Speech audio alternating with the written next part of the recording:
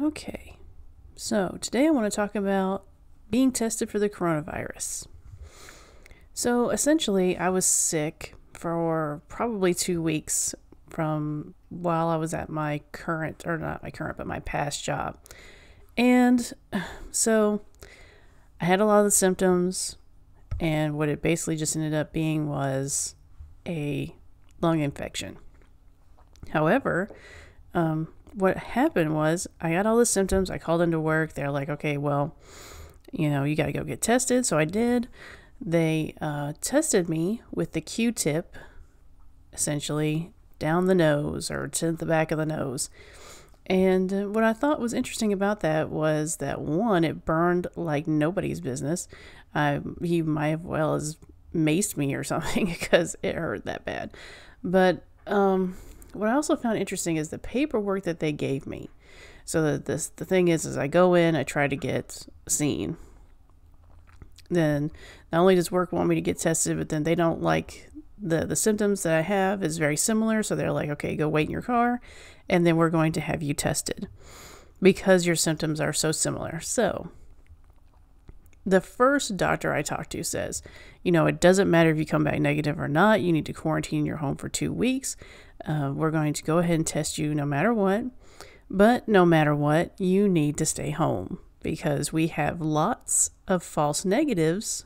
So that means that even though your test comes back negative, you could still be positive. So I tested, which was awful.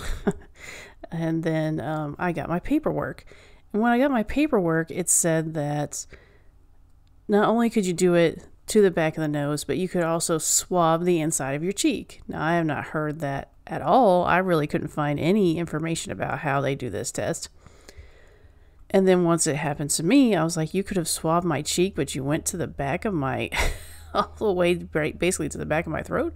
Why? You know, I haven't been able to find anything really conclusive about why they go to your nose instead of your cheek when their information says that they're both the same. So I went through all of that, and then after you do that, once your results come back in, you talk to another doctor. So I talked to another doctor, and he said, No, you don't have to quarantine because it came back negative. Um, you can go do whatever you want to do. I was like, Okay, but the first guy I talked to said you, that there's a lot of false negatives, and so that's why I have to quarantine even if I'm negative. He's like, Well, yeah, we do have a lot of false negatives, but you tested negative, so go ahead.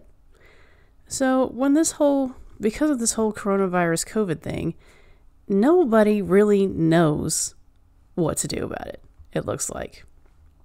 And so, all of these things that they're telling you to do, they'll come and say, This definitely works, and they'll say, No, it doesn't, and this definitely works, and no, it doesn't. The only thing I've ever seen them say that I know for 100% because it's worked forever since we started doing it is washing your hands with soap and hot water. Don't touch your face. You know, this is stuff that we have been doing forever and ever and ever, and we know for sure it works. So that is what I would say to anybody who's worried about it is just, you know, they're still coming out with information about masks not working. You don't even need them, etc. So I would just wash your hands and keep your hands off your face if you're worried about it. So I was not worried about it because, one, if that's what coronavirus is, it's not that bad. It's not fun, but it's not that bad. Um, so that was my coronavirus experience. The doctors gave me two different, you know, things to do. So one doc is like, no, definitely stay home, stay home. Another doc and this is from the same, you know, place, is telling me, no, you don't have to do that. You can go out and do whatever you want because you tested negative. So they don't know, guys. And so that's why I'm not surprised that people are confused about what is really going on. Because, again, our lovely government and our lovely system and everything doesn't know either. And they can't agree on what to do. And they're telling people two different things on the same visit, basically. So, have you had that same experience? If you were tested, how would it go for you?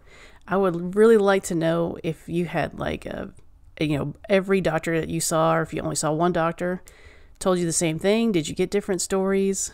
Um, my what ended up happening, what ended up what was wrong with me was a lung infection, and so because I have asthma, I was wearing a mask for like the five minutes I could wear it and then just pulling it right down. Well, that apparently caused my lungs to have that infection because it's the only thing that's really changed that I've been doing. Um, I don't usually get I don't usually get lung infections that do that to me. As an asthmatic, your your lungs are always struggling to clear out the mucus and everything that's in there. So you always have like a, a slight infection. So I always have that one, but never anything this this like this where I can't talk, I can't breathe, things like that. I did eventually end up leaving that job just because when I couldn't talk, I couldn't breathe and everything.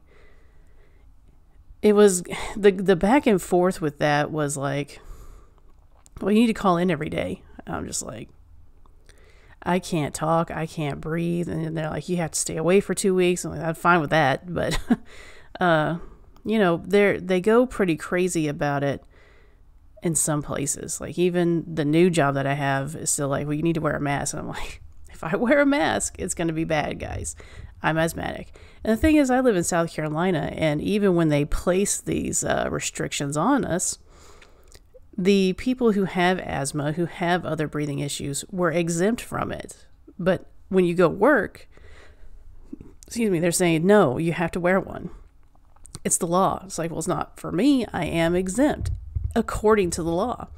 So people are going crazy, even crazier than I would, thought that they would go because they're going beyond the law now and just saying, well, you just need to do this because we have people who complain. Like, okay, so now I just wear it on my chin. I don't put it over my nose and my mouth because if I do that, I'm going to have problems that look like coronavirus because I have asthma. so, when you're looking at maybe some of the numbers, maybe think about that too because I know there's been a lot of news about how people are skewing the numbers and things like that. And if you're asthmatic or you have other breathing issues and you wear this mask, then you start to have the same symptoms, you know, shortness of breath, trouble breathing. Uh, for me, my body heats up, which makes it worse, and then my, my throat closes down, and there is no breathing. so, I would just encourage you guys that if you see somebody not wearing a mask, and you're one of those people who think everybody should wear a mask, maybe you should have, you know, just ask them, hey, are you asthmatic or whatever? Because people like us who are chronically ill or chronically sick cannot wear those things without getting even more sick. So that's why typically you have a um, an exemption from it. So, guys, I hope this finds you having a great day just despite all this. I hope this was some information you could use, maybe just file it away in your collection of information, and I'll see you in the next one. Bye.